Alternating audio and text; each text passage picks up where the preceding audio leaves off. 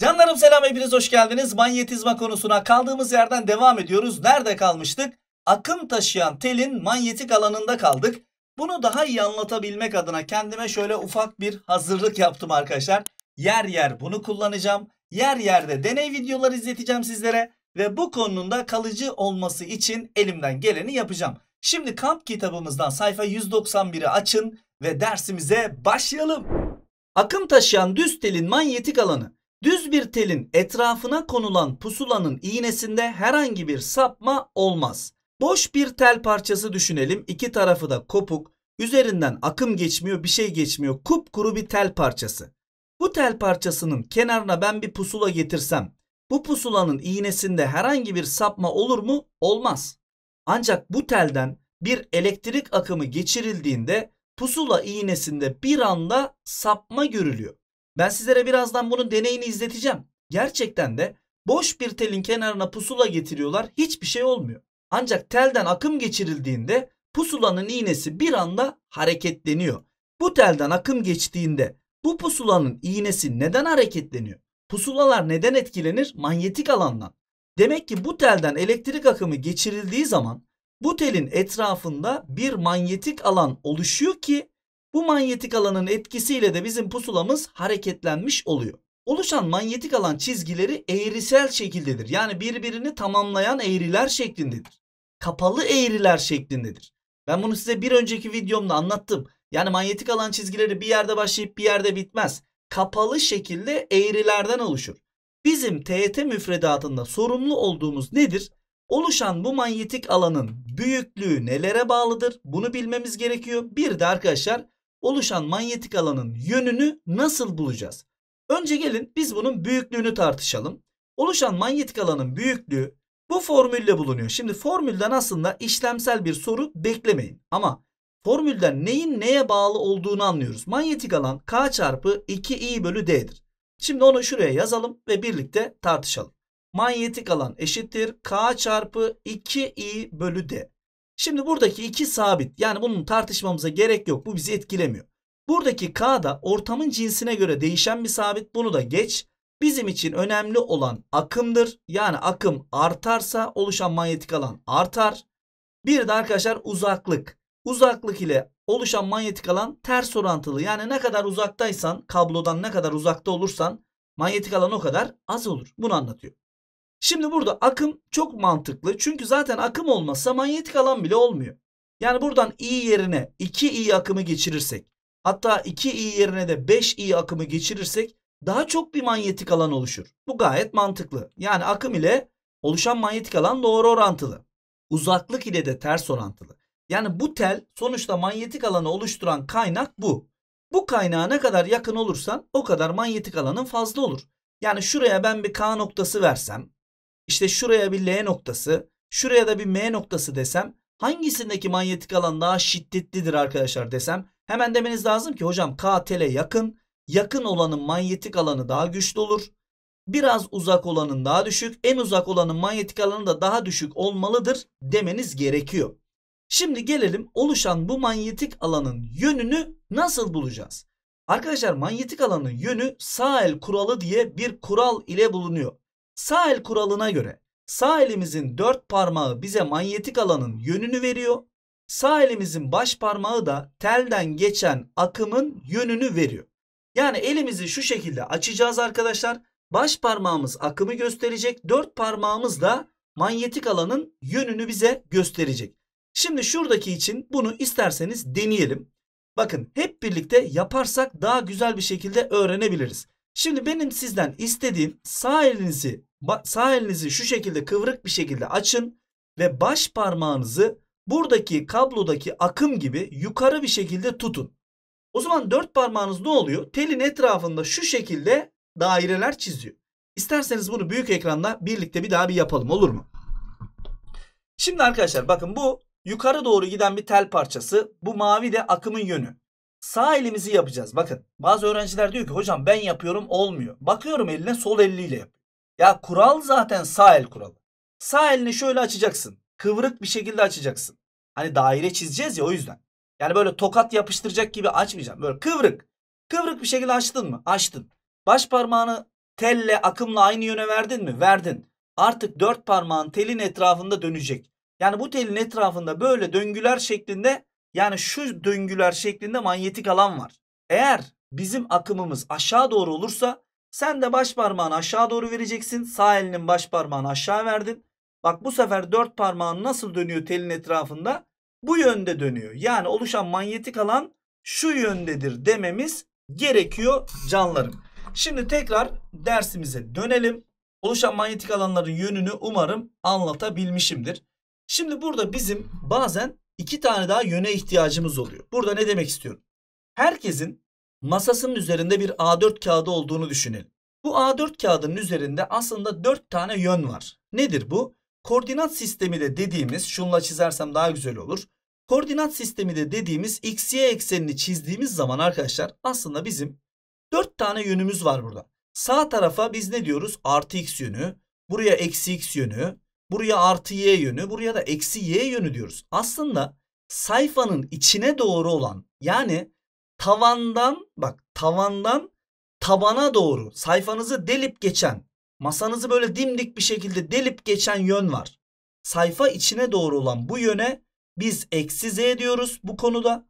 Sayfa dışına doğru olan yani sizin sayfanızdan tavana doğru çıkan yani ayaklarınızın olduğu yerden tavana doğru şu şekilde giden bir yön daha var. Ona da artı z yönü diyoruz arkadaşlar. Bu konuda bu yönlerde kullanılıyor.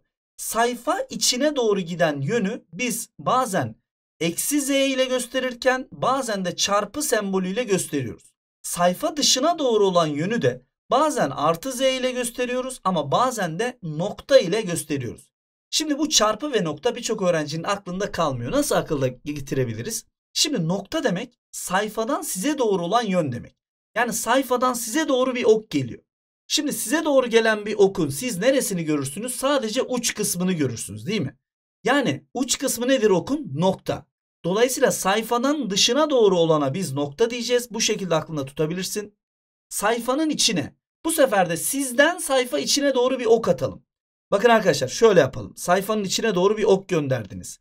Okların arka tarafında şöyle çentik olmaz mı? Hani yaya takılabilsin diye. Evet.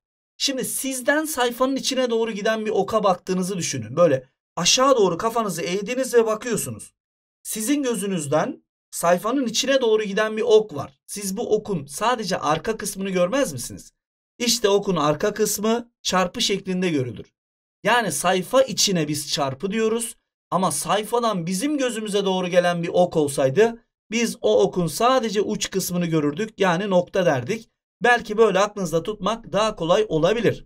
Şimdi sorularda genelde böyle yukarı doğru giden bir tel ya da sağa doğru geçen ya da sola doğru geçen bir akım verilip bu telin sağındaki manyetik alan ne tarafa doğrudur? Solundaki manyetik alan ne tarafa doğrudur diye bize sorular sorulabiliyor arkadaşlar. Yapmamız gereken tek şey var. Sağ elimizi kıvrık bir şekilde açacağız. Baş parmağımızı akım ile aynı yöne vereceğiz. Şimdi arkadaşlar bunu yine büyük ekranda yaparsak daha faydalı olacak diye düşünüyorum. Bakın bizim telimiz sayfamız bu. Sayfamızın yukarısına doğru giden bir kablo var. Sayfanın üstüne doğru gidiyor bu kablo. Akım yukarı. O zaman sağ elimizin baş parmağını akım ile aynı yöne getirdiğimiz zaman ne oluyor? Dört parmağımız sayfanın içine vuruyor. İçine demekti sayfanın içi? Çarpı demekti. Peki ne tarafta sayfanın içine vuruyor? Telin sağ tarafında sayfanın içine vuruyor. Sağ tarafında sayfanın içine gidiyorsa sol tarafında da size doğru geliyordur. Yani biri sayfa içi ise biri de sayfa dışıdır. O zaman sağ tarafı sayfa içi diyorum. Çarpı demek bu. Sol tarafı da ne oluyor? Nokta oluyor. Tekrar dersimize dönelim arkadaşlar. Dersimizde bakın aynen dediğimiz gibi bu telin sağ tarafında parmağınızı koyarak yapabilirsiniz. Ekranın üzerine bizzat parmağınızı koymanız lazım. Ekranın üstüne baş parmağınızı bu ok olacak şekilde ekranın üstüne koyarsanız sağ elinizin dört parmağının bu tarafta içeri çarptığını görürsünüz. İçeri çarpmak ne demek? Çarpı yani sayfa içi. Bu tarafta ise nokta olduğunu görürsünüz arkadaşlar. Telimizdeki akım eğer sola doğru gidiyorsa o zaman da bu sefer baş parmağınızı sayfanın üstünde sola doğru koyun. Sağ elinizin baş parmağını. Bakın şöyle koyun sola doğru. Yani ekrandan size sağa doğru geliyor olabilir ama ben aslında sola doğru yapıyorum. Siz sola doğru baş parmağınızı böyle yapın sağ elinizin. Dört parmağınızın telin üst tarafında sayfa içine girdiğini görürsünüz. Sayfa içi çarpı demek gördüğünüz gibi. Sayfa dışı da telin alt tarafında da sayfa dışı olur. O da nokta olur. Arkadaşlar buradaki yön olayını tam olarak %100 anlamadıysanız bile fazla takmanıza gerek yok. Bu daha çok AYT kısmında karşımıza gelen bir olay zaten. Şimdi gelin bunun ben size deneyini izleteyim. Öncelikle boş bir kablonun etrafına pusulalar yerleştiriliyor. Yani şu anda kablodan bir elektrik akımı geçmiyor. Pusulaların ibrelerini incelediğimiz zaman çok küçük farklılıkları olsa da hemen hemen hepsinin aynı tarafa doğru baktığını görüyoruz. En alttaki pusula farklı bir tarafa bakıyor çünkü o pusula bozuk. Aksi takdirde onun da bunlar gibi şu tarafa doğru dönmüş olması gerekiyordu. Peki bu pusulalar neden aynı tarafa doğru bakıyor? Çünkü dünyanın manyetik alanı diye bir şey var. Yerin kendi manyetik alanı. Zaten pusulalar dünyanın manyetik alanı olmasaydı çalışmazdı ki. Bütün pusulalar her zaman kuzeyi gösterir. Neden? Dünyanın manyetik alanından dolayı. Bu pusulalar da aynı bölgede bulunduğu için hepsi aynı yönü gösteriyor. Nedeni bu. Ancak kablodan elektrik akımı geçirildiğinde arkadaşlar ne oluyor? Hep birlikte inceleyelim. Şu anda elektrik akımı verildi. Durmasını bekleyelim pusulaların. Durduğu zaman arkadaşlar bunların yönlerini dikkatli bir şekilde incelediğimizde çok ilginç bir sonuç ortaya çıkıyor. Bakın buradaki pusulanın yönünün böyle olduğunu, buradakinin böyle olduğunu yani kablonun etrafında adeta dönen oklara dönüştüğünü görüyorsunuz. Yani bu kablonun etrafında dairesel bir yörünge çizen manyetik alan çizgileri vardır. Hatta bu vektörler yani bu manyetik alan vektörleri tele her zaman dik olacak şekildedir. Yani bunun da hemen hemen ispatını yapmış oluyoruz. Yani şöyle dikkatli baktığımızda dik olduğu zaten anlaşılıyor arkadaşlar. Bir tane örnekle devam edelim. Üzerinden eşit büyüklükte ve aynı yönde akım geçen sonsuz uzunluktaki iki tel şekildeki gibidir. Buna göre tellerin her birinin buraya dikkat edin her birinin oluşturduğu manyetik alanlar KLM noktalarından hangilerinde aynı yönde olur diyor. Şimdi sol taraftaki telin akımını biraz daha şöyle kırmızı okla belirgin hale getirelim. Sağ taraftaki telimizi de mavi okla şöyle daha belirgin hale getirelim. Benim sizden isteğim benle birlikte kuralı uygulamanız. Şimdi önce kırmızı telin manyetik alanlarını bulmaya çalışalım. Şimdi sağ elinizi açın kıvrık bir şekilde ve baş parmağınızı bu kırmızı ile çizdiğim okun üzerine koyun. Şimdi baş parmağınızı okun üstüne koyduğunuzda bu telin sağ tarafında parmaklarınızın ekrana çarptığını anlarsınız. Bakın size şununla da göstermek istiyorum. Gördüğünüz gibi yukarı doğru giden bir akım var. Baş parmağımı bu akımın yönünde verdiğim zaman sağ elimin dört parmağının sağ tarafında yani telin sağ tarafında gördüğünüz gibi sayfanın içine çarptığını görüyorsun. Sayfanın içine demek çarpı demek. Demek ki bu telin sağ tarafında çarpılar var. Telin sol tarafında da neler olur? Noktalar olur. Çünkü bunu size önceden söylemiştim. Sağı çarpıysa solu nokta olur. O zaman kırmızının sağ taraflarına çarpılar koyuyorum. Burası da sağ tarafı sonuçta çarpı koyuyorum. Ama sol tarafına nokta koyuyorum. Yani kırmızı akımdan dolayı oluşanları yazdım. Şimdi maviye geldik. Yine aynı şekilde mavi tel de yukarı doğru olduğu için yine baş parmağımı akıma vereceğim. O zaman baş parmağımı akıma verdiğim zaman sağ tarafında yine görüyorsunuz sayfanın içine doğru parmaklarım çarpıyor. Demek ki bu mavi okun sağ tarafında sayfanın içine doğru sayfanın içine doğru demek çarpı demek. Şöyle yapalım. Sol tarafında ise sayfadan bize doğru yani nokta. E burası da mavinin sol tarafı değil mi? O zaman burada nokta. Şimdi nerede aynı yönlü oldu? Dikkat edin L'de ikisi de aynı yönlü. Bir de M'de ikisi de aynı yönlü ama K'da zıt yönlü. Dolayısıyla sorumuzun cevabı L ve M olacaktır. Elektromıknatıs. Nedir elektromıknatıs? Konunun en başında size dedim ki mıknatıslar bazen doğada doğal yollarla bulunur. Bazen de kendi mıknatısımızı ihtiyaç dahilinde kendimiz elektrik akımıyla yapabiliriz demiştim. İşte kendi yaptığımız bu mıknatısa elektromıknatıs deniyor.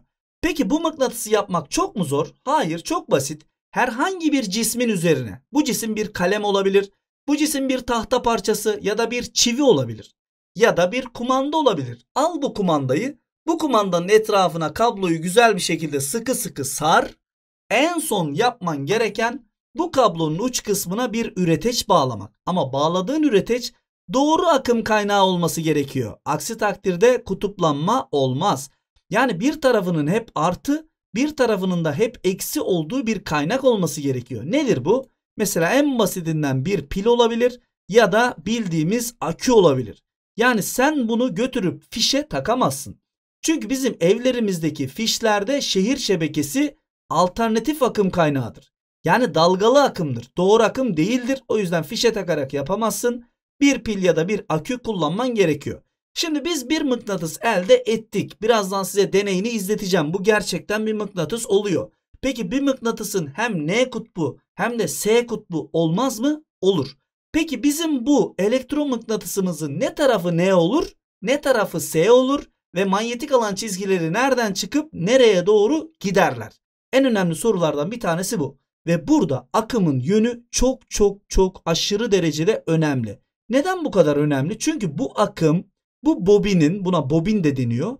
Bu bobinin alt tarafına doğru girmişse biz dört parmağımızı akıma vereceğiz arkadaşlar. Dört parmak artık iyi gösteriyor. Yani yine sahil kuralı kullanıyoruz ama bu sefer dört parmağımız akım böyle daire çizeceği için dört parmağımızın da daire çizebilmesi daha kolay olduğu için baş parmak akım değil. Dört parmak akım baş parmak bize manyetik alanın yönünü verecek.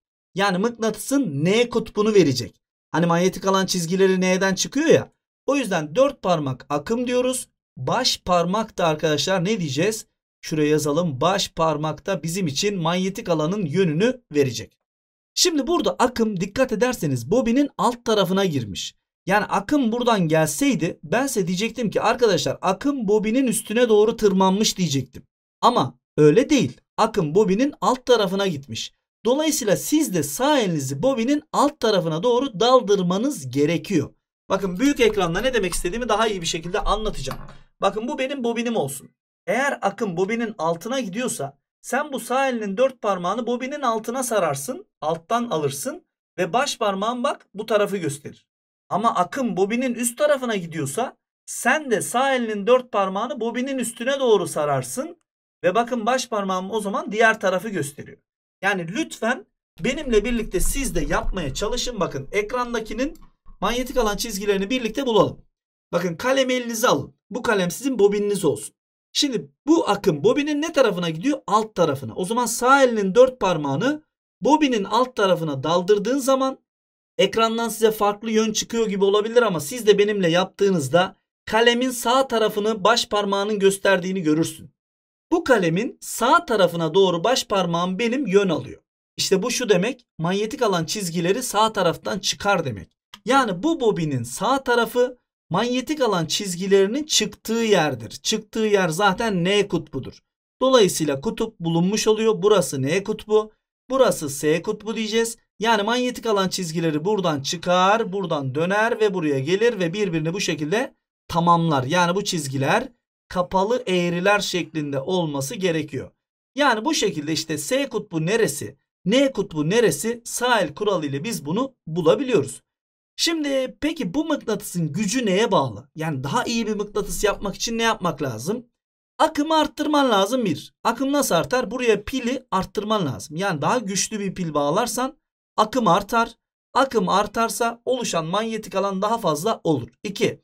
Telin sarıldığı maddenin cinsi. Yani sen bunu bir kalemin etrafına ya da bir tahtanın etrafına sararsan güçlü bir mıknatıs yapamazsın. Ama bir demirin etrafına sararsan, bir çivinin etrafına sararsan daha güçlü bir mıknatıs yaparsın. Çünkü çivi, demir ferromanyetik yani manyetik alanı seven maddelerdir. O yüzden çivinin ya da demirin etrafına yaptığında daha güçlü bir mıknatıs elde edersin. Telin birim uzunluktaki sarım sayısıyla doğru orantılıdır. Yani Buraya sen 10 sarım yerine 100 sarım yaparsan ya da 1000 sarım yaparsan çok daha güçlü bir mıknatıs elde etmiş olursun.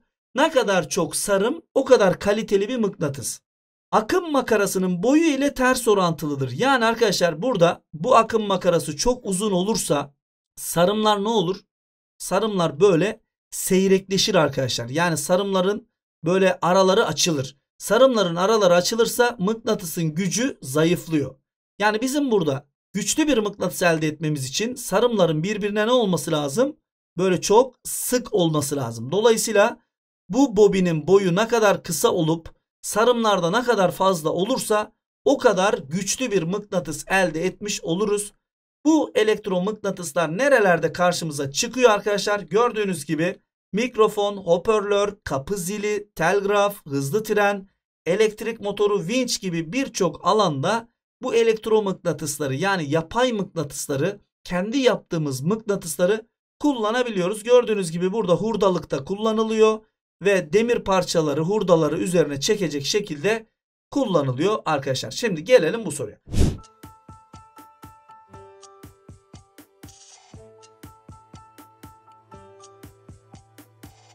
Aşağıda verilen akım makaralarının hangisinin merkezindeki manyetik alan en büyüktür? Şimdi akımlara bakıyorum. Akımı bir kere en fazla olan şu var, şu var, şu var. Bizim istediğimiz akımın fazla olması. O zaman bunları direkt eliyorum.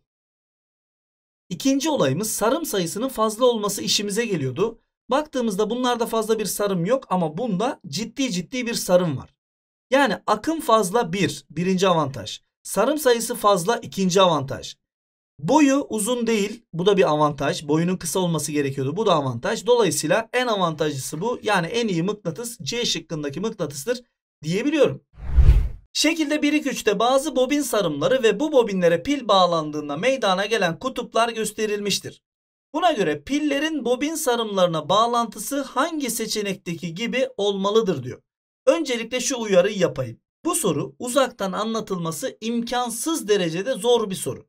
Eğer siz bu soruda benim söylediğim hamleleri birebir yapmayacaksanız bu soruyu anlama ihtimaliniz yok. Yani sadece böyle hocam ben sizi izleyeyim derseniz yapamazsınız. Direkt bu soruyu geçin.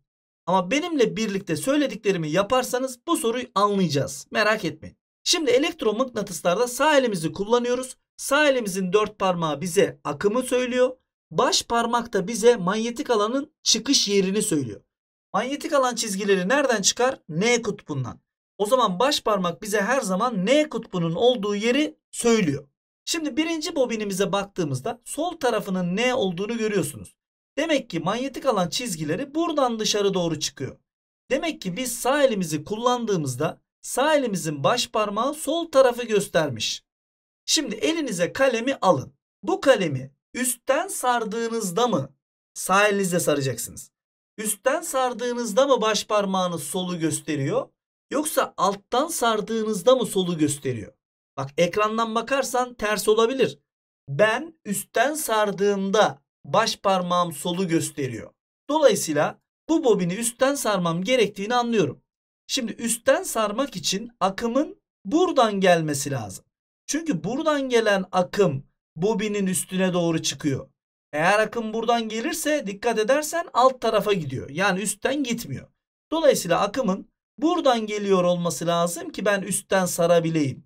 Akımın buradan gelmesi de buranın artı buranın eksi olması anlamına gelir. Şimdi diğer bobinimize gelelim. Mıknatısın N kutbu burası. Demek ki manyetik alan çizgileri buradan dışarı doğru çıkıyor. Demek ki baş parmağımızın yukarıyı göstermesi gerekiyor. Şimdi kalemi bu sefer de dikey tutacağız. Sağ elimizde. Bu şekilde sardığımızda mı baş parmağımız yukarıyı gösteriyor? Bu şekilde sardığımızda mı? E tabii ki de bu şekilde. Bu şekilde sararsak baş parmağımız yukarıyı gösteriyor. Şimdi böyle sarmak için bobini üstten kavraman lazım.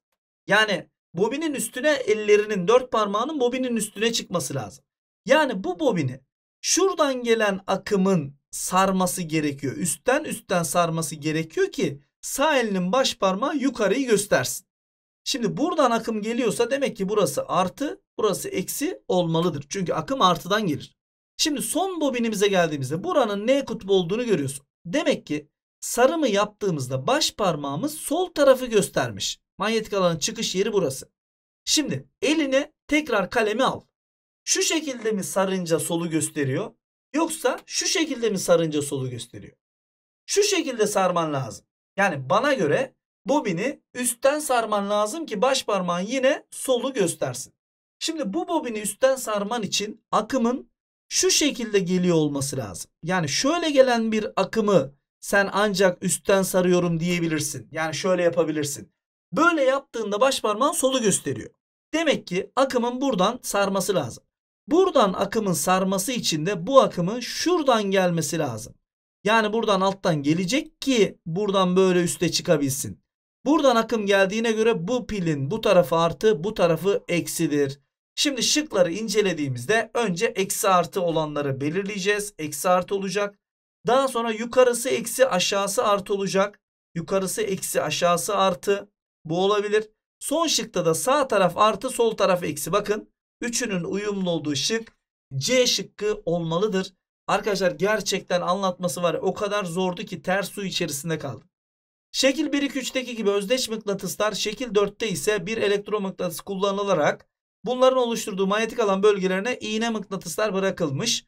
Diyor ki hangilerinin konumu doğru olarak gösterilmiştir. Şimdi önce biz buradaki manyetik alanın yönünü bulacağız. Mıknatısın pusulası yani N tarafı manyetik alanın yönüne gider. Şimdi N kutbunun manyetik alan çizgileri N'den dışarı doğru yani şu şekilde değil mi? Evet. Buradaki N kutbunun burada oluşturduğu manyetik alanda yine N'den dışarı doğru şöyle. Bakın iki tane okun sağ ve yukarı doğru olduğunu gördünüz. İşte bunların bileşkesi şudur arkadaşlar. İki okun da sonucu ortadandır. Bu pusulanın kırmızı tarafı da bu tarafa doğru döndüğü için bunun çizimi doğrudur. Şimdi buna gelelim. Buradaki N kutbunun manyetik alanı neydi? N'den dışarı doğruydu. Yani şöyleydi. Peki buradaki S, S'nin manyetik alanı nedir? S'ye doğrudur. Yani S'nin manyetik alanında şu şekilde aşağı doğru S'ye doğru çizeceğiz. Peki bu ikisinin bileşkesi nedir? Tabii ki de çaprazdır. Yani ortadandır. Bakın bunun da kırmızısı çapraza dönmüş. Yani bu da doğru çizilmiş. Şimdi buna gelelim. S'nin manyetik alanı S'ye doğru. Yani oku bu tarafa doğru yapacağız. Daha sonra buradaki S'nin manyetik alanı da aşağı doğru. Bakın iki tane okun bileşkesi şu şekilde olur. Yani bu tarafa olur. Kırmızı kısmının bu tarafa dönmesi lazım. Bu tam tersine dönmüş. Bu yanlış çizim. Şimdi buna geldiğimizde artıya dikkat ediyoruz. Çünkü akım artıdan yola çıkıyor. Buradan gelen akım bu bobini üstten mi sarıyor alttan mı sarıyor? Sadece buna bakacaksın. Bakın dikkat ederseniz üstten sarıyor. O zaman kalemi eline alacaksın. Sağ elinin dört parmağıyla kalemi üstten saracaksın. Kalemi üstten sarınca baş parmağın sola döner. Demek ki bu mıknatısın sol tarafı N kutbu, sağ tarafı da S kutbu. Manyetik alan çizgileri de N'den çıkıp S'ye gittiği için yani buradan çıkıp şu şekilde buradan sağa doğru geçtiği için bu pusulada sağ tarafı kırmızıya döndüğü için yani bizimle uyumlu olduğu için bu da doğru çizilmiştir. Sadece yanlış çizilen 3 numaralı sorudur. 3 numaralı şıktır diyebilirim. Dünyanın manyetik alanı. Dünyanın çekirdeği 3480 kilometre yarı çapındadır. Yani çok yüksek bir değer. Çekirdekte büyük oranda demir ve az miktarda nikel eriyik halde bulunur. Demirin hareket etmesi sonucunda güney-kuzey doğrultusunda bir manyetik alan meydana gelir. Yani dünyanın kendi manyetik alanıdır bu. Hani yerin manyetik alanı diyoruz ya. Pusulalar zaten dünyanın manyetik alanı olmasa bize yönümüzü nasıl gösterecek? Bu durum dünyanın dev bir mıknatıs gibi davranmasına neden olur. Oluşan bu manyetik alan yani dünyanın kendi manyetik alanı canlılar için hayati derecede öneme sahiptir. Şimdi burada bizim kesinlikle bilmemiz gereken bazı bilgiler var. Öncelikle dünyanın biz üst yarım küresine ne diyoruz arkadaşlar? Kuzey yarım küre. Dolayısıyla üst tarafı N harfiyle gösteriyoruz. Alt tarafına ise güney yarım küre diyoruz ve S harfiyle gösteriyoruz.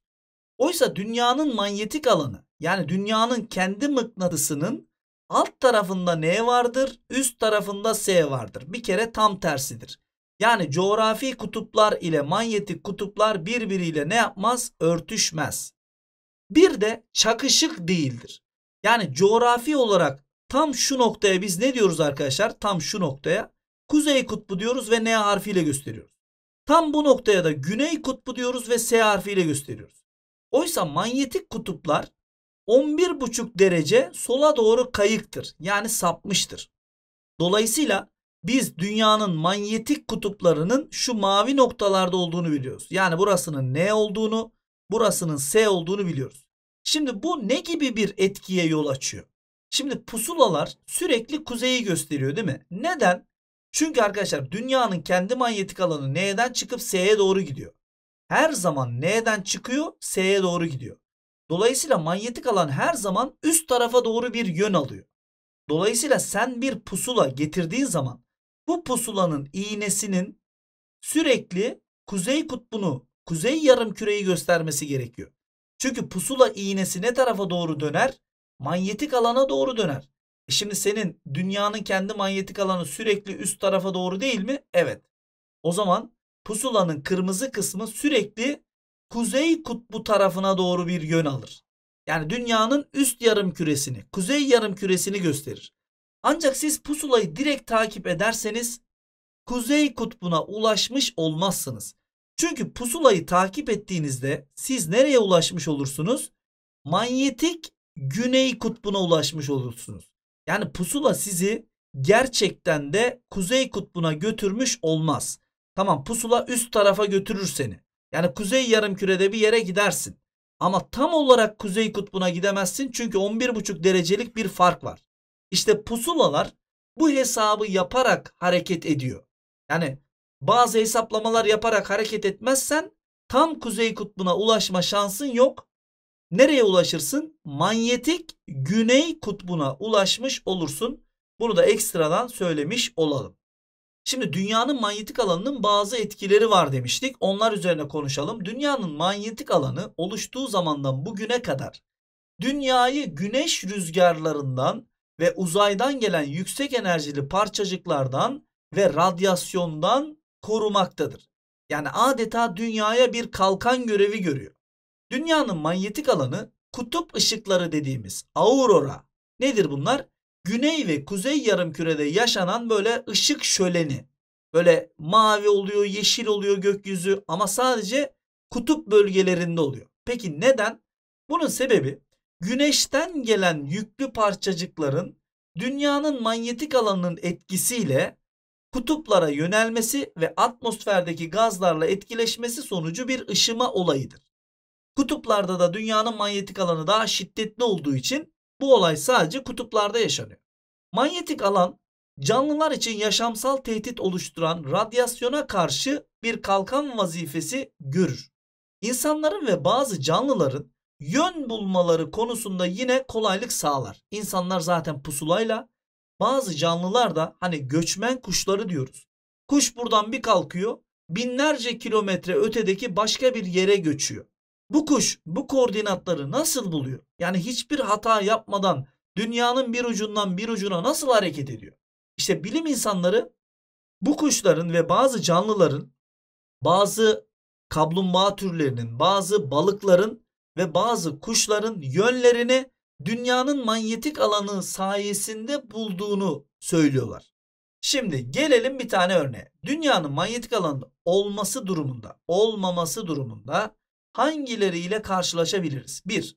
Güneşten gelen zararlı ışınlar direkt dünyaya ulaşırdı ve canlıların DNA yapısı bozulabilirdi. Evet, bizi radyasyondan ve güneşten gelen zararlı ışınlardan koruyor dünyanın manyetik alanı. Bazı göçmen kuşları yönlerini bulamazdı. Evet bu da doğru. Pusula ile yön bulunamazdı. Kesinlikle bu da doğru. Dolayısıyla bu üç sorunla karşılaşabilirdik.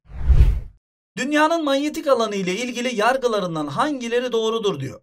Dünyanın coğrafi ve manyetik kutupları çakışıktır diyor. Bu yanlış çünkü 11,5 derecelik bir fark vardı. Çakışık değildi. Dünyanın kutuplarına doğru gidildikçe manyetik alan şiddeti artar. Bu doğru. Çünkü hatırlayacaksınız kuzey ve güney kutup ışıkları hani aurora dediğimiz olaylar nerede yaşanıyor? Kutuplarda yaşanıyor. Neden? Çünkü dünyanın manyetik alanı kutuplarda maksimum şiddete sahip. O yüzden. Pusuladaki N kutbunun gösterdiği yön doğrultusunda gidilirse tam olarak dünyanın coğrafi kuzey kutbuna ulaşılır diyor. Arkadaşlar bu da yanlış çünkü 11,5 derecelik farktan dolayı bu da mümkün olmuyor. Yani dünyanın kendi manyetik alanından dolayı pusulalar tamam kuzey yarım küreye seni götürür ama tam olarak kuzey kutbuna seni götürmez. Yani dünyanın gerçek kuzey kutbu örnek veriyorum. Şu noktada ise pusula seni bu noktaya götürmez. Pusula seni kendi güney kutbuna götürür. Yani manyetik güney kutbu dediğimiz pusulanın iğnesi daima nereyi gösterecek? Kendi güney kutbunu gösterecek. Yani seni şu noktaya götürmüş olur. Bu noktada gerçekte coğrafi kuzey kutbu değildir. Aralarında belirli bir miktarda fark vardır. Dolayısıyla bu da yanlış sorumuzun cevabı yalnız 2 olmaktadır. Ve geldik bu videonun son sorusuna. Dünya üzerindeki bazı noktalarda özdeş mıknatıslar esnemeyen ipler yardımı ile düşey konumda asıldıklarında yere göre eğilme biçimleri şekildeki gibi gösterilmektedir. Buna göre 1-2-3 mıknatıslarının hangilerinin denge konumu doğru olarak gösterilmiştir. Öncelikle mıknatısların kırmızı kısımlarının ne olduğunu, mavi kısımlarının da S olduğunu şöyle yazalım. Soruyu ona göre çözmeye çalışacağız. Şimdi ekvator bölgesinden başlamak istiyorum. Ekvator bölgesi dünyanın orta bölgesi olduğu için manyetik kuzey kutbuna ve manyetik güney kutbuna eşit mesafededir. Yani dünyanın manyetik alanının buradaki N kutbuna olan etkisiyle S kutbuna olan etkisi eşittir. Dolayısıyla da herhangi bir eğilme beklemiyoruz. Yani düz bir şekilde olması gerekiyor. Yani bu doğru çizilmiş. Çünkü bu mıknatıs yani ekvator bölgesi ne yukarıya yakın ne de aşağıya yakın olursa tam ortada olursa bu şekilde düz bir şekilde dengede kalır. Ancak siz güney yarım kürede bir mıknatısı asarsanız güney yarım küre dünyanın bu alt tarafındaki küresi değil mi? Evet. Şimdi dünyanın alt tarafı hangi kutba yakın? N kutbuna yakın. O zaman biz burada N kutbu varmış gibi hesap yapabiliriz. N kutbu N'yi kendine doğru bu kadar çeker mi? Hayır. Kimi çeker? S'yi. O yüzden arkadaşlar eğer bu S kısmı bu tarafa doğru eğilmiş bir şekilde dursaydı yani S kısmı burada şu şekilde eğik bir şekilde olsaydı N kısmı yukarı doğru şu şekilde olsaydı biz buna doğru derdik. Ama bu şu anda yanlış. Bunun üstünü çiziyorum. Şimdi burası kuzey yarımküre. Yani deney şurada yapılıyor. Kuzey yarımküre dünyanın manyetik alanının hangisine daha yakındır? S kutbuna daha yakındır. O zaman burada S varmış gibi düşünüyorum. Yani yerin içerisinde, toprağın içerisinde sanki S mıknatısı varmış gibi düşünmemde bir sakınca yok. Çünkü ben kuzey yarımküredeyim. Kuzey yarımkürede de S kutbu daha etkili. O zaman yerin içinde S varmış gibi düşüneceğim. S kimi çeker? N'yi. Dolayısıyla N'yi kendine doğru yaklaştırmış, S'yi de itmiş. Yani bu doğru bir şekilde eğilmiş. Dolayısıyla sorumuzun cevabı 1 ve 3 olmaktadır. Bu soruyla birlikte bu videonun sonuna geldik. Arkadaşlar eğer buraya kadar dinlediyseniz ne kadar emek verdiğime siz şahitsiniz. Dolayısıyla videoyu eğer beğenmediyseniz beğenmeyi lütfen unutmayın. Bir sonraki videoda soru çözüm videosunda görüşmek üzere. Kendinize ve sevdiklerinize çok iyi bakın. Hoşçakalın.